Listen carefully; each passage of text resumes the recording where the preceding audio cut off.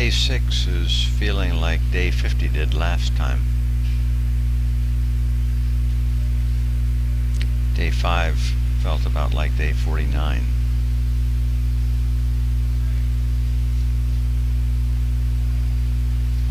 I suspect there are a number of reasons for this. Zero calories this time versus calories that were a byproduct of my electrolyte and sodium regimen that came to about 60, maybe 70 calories a day last time.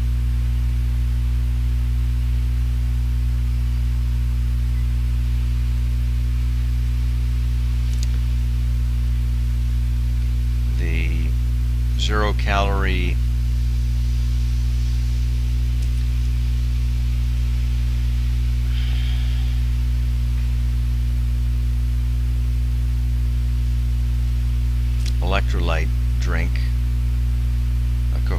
product, Powerade Zero, is not readily available. In fact, now I don't know where it's available. this afternoon,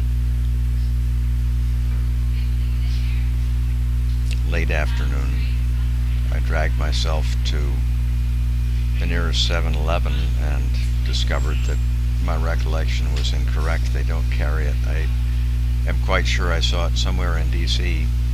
I thought 7-Eleven was the place. The packets that I used, Emergen-C, I have, have some, but I haven't used them in the effort to stay zero calorie. And sodium is much harder to take packets from McDonald's, for example. The body of a serious hunger striker, at least in my case, is so finicky in what it will take. By day three or maybe four, my body totally rejects coffee. That's uh, just out of the question. It pretty well rejects warm water, like being in the sun all day. I don't know about cold water. No one's offered any.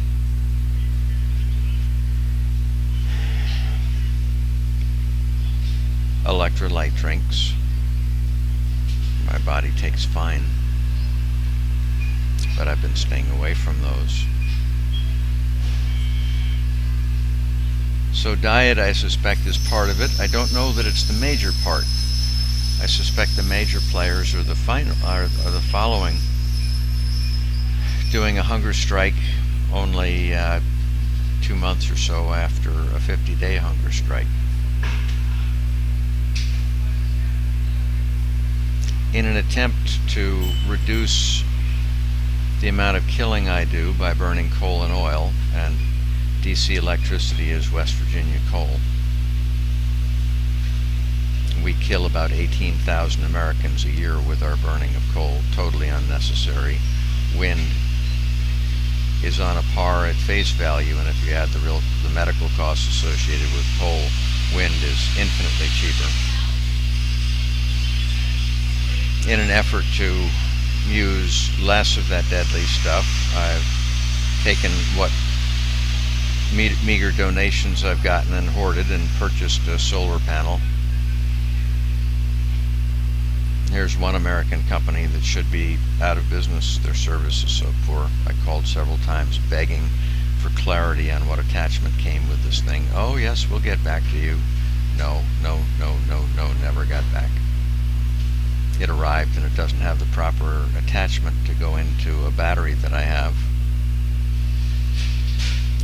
Speaking of batteries, which I now lug with me, it's a 26 pound Duracell battery. Three days ago it didn't feel bad. Now it feels like about 80.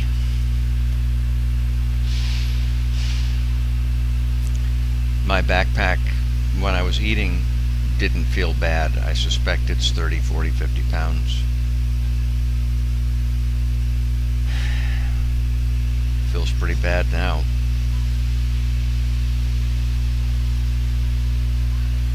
my regimen starting yesterday is to be in front of the White House with a sound system that I have, fairly loud, 40 watt, playing quotations of Dr. King and Gandhi. I'm afraid that if I put the King quotes up, that family is so godless that uh, they'll probably hit me with copyright infringement and strike three and my YouTube channel's down. So I won't put the, the King up one up, but I braved putting the Gandhi one up, and the King one is powered after it, looking for the real.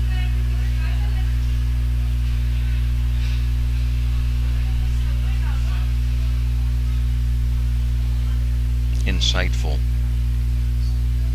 quotes on his on their strategic view for unviolent action, unviolent warfare.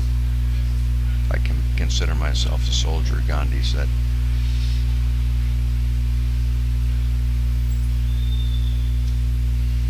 So my regimen is to be in front of the White House from the time I get off shift at the vigil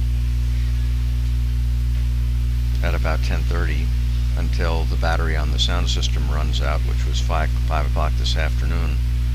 So I plant myself right near the sidewalk in front of the White House, on the White House side.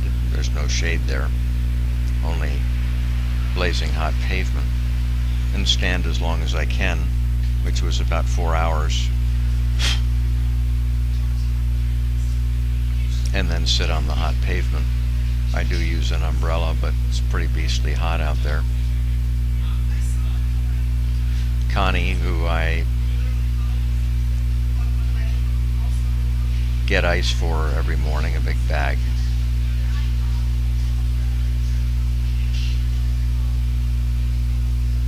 Of course, sent not one cold drink, not any ice over in the seven or so hours I was out there.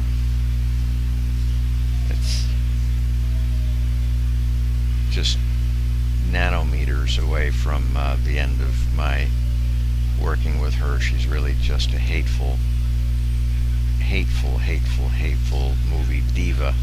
Think of the movie divas, the recluses that to maintain their illusions of um,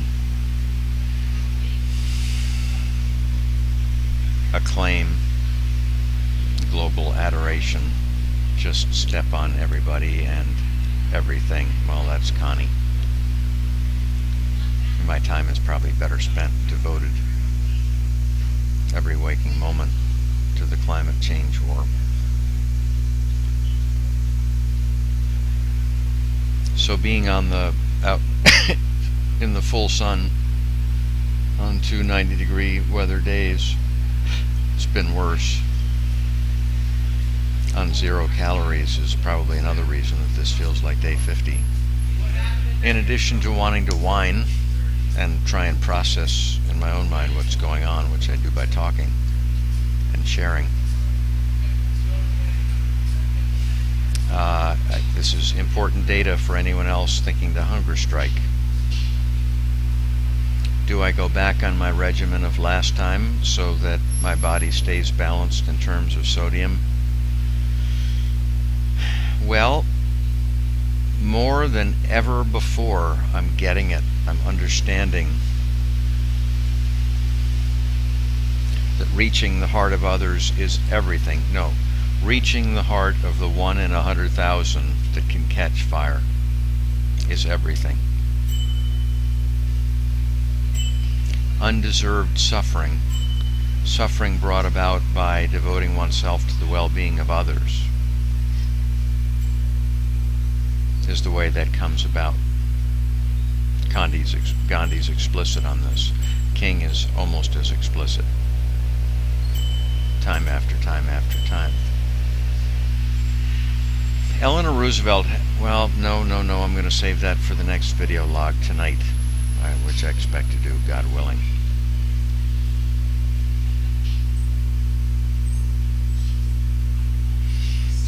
So do I go back to that other given all the weight that I'm lugging, given the, the time in the sun, I will say that more than ever I realize that the raging fire that we have two months to start, to begin, given the college campus schedule. Two months tops, maybe a month and a half. If you want to start a fire, you need a match. If you want to start a raging fire to travel quickly, you better have some gasoline or a blowtorch. So it is needed of me that I be a blowtorch, that I be burning with love, that I be fighting with every ounce of strength. And as Gandhi is extremely explicit, fighting hurts. If it doesn't hurt, it's not fighting. It doesn't hurt, it's not fighting. Or Gandhi's wrong. It's possible. You or others might be much smarter. Unlikely. I continue to summon our soldiers in the Korengal Valley, Korengal Valley. I summon the 400 children in, is it Somalia, that are on the verge of death due to starvation thanks to our burning of coal and oil, which has turned their croplands into desert. There are other factors as well, but our burning of coal and oil is a major one. I keep myself in front of them. So I want to go and, and nap. I want to go sit in the shade. And I turn to them and ask them, so do you want me to go rest? Do you want me to go get out of the sun? Do you want me to go recuperate? Well, they love me, they're grateful for what I'm doing, but I can tell from their faces, I'm sorry. Are you serious? We're starving to death because of the, in significant part because of the burning of coal and oil. I'm sorry, you're wondering if if we want you to go and de-escalate your action, burn not quite so brightly, fight not quite so hard. I get the same no, I, I'm too embarrassed to ask the guys in the Korengal Valley. I just look at their lives and that tells me in Afghanistan. And I hold myself in front of the 125 million climate refugees from our burning of coal and oil. And other factors like overgrazing, overpopulation. And it's clearer to me than ever before what this hunger striking is all about. It's absolutely about putting oneself in harm's way.